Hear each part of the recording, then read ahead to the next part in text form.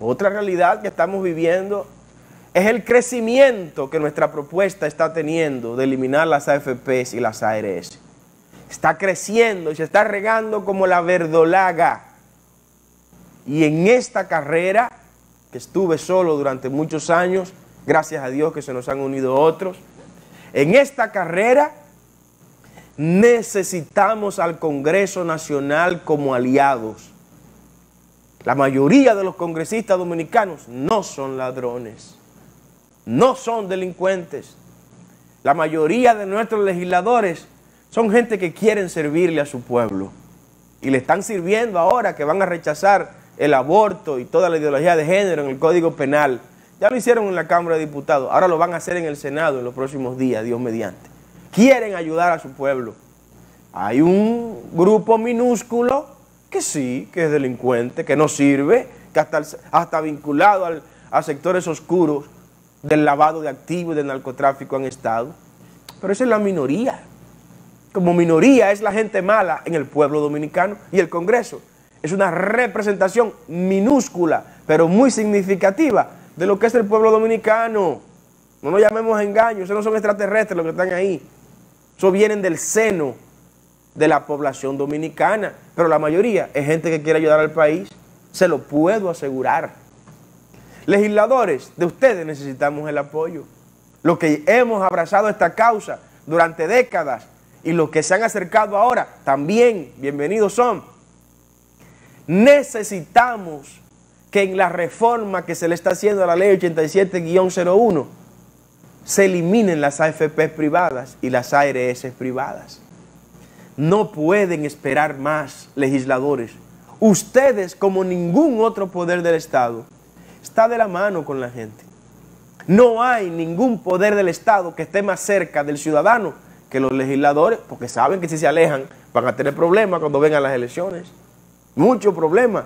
Por eso viven el día a día, haciendo cosas hasta que no son de sus competencias. Sí, vamos a estar claros con eso. Pero están ahí el día a día. Ustedes están escuchando lo que la gente está diciendo. La gente ha aquilatado la idea nuestra de que se trata de un cartel, el cartel de la seguridad social. En esta reforma de la ley 87-01, General de Salud, vamos a introducir la eliminación definitiva de una vez y por todas de las AFP privadas y de las ARS privadas. Y les doy una noticia.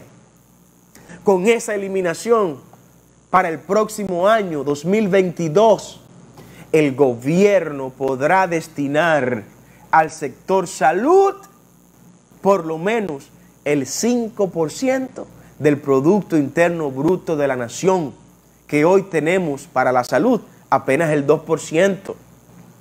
¿Saben por qué? porque habrá disponibilidad de 2 mil millones de dólares que estas estructuras gangsteriles y carteriles se llevan todos los años. 2 mil millones de dólares.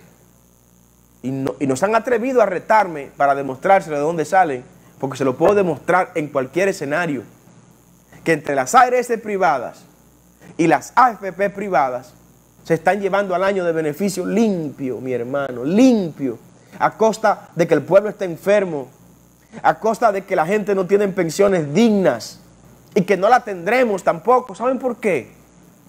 Porque cuando las personas que iniciaron a cotizar en este régimen llegue el momento de pensionarse, apenas recibirán el 22% del salario promedio que cotizaron durante sus 360 cotizaciones.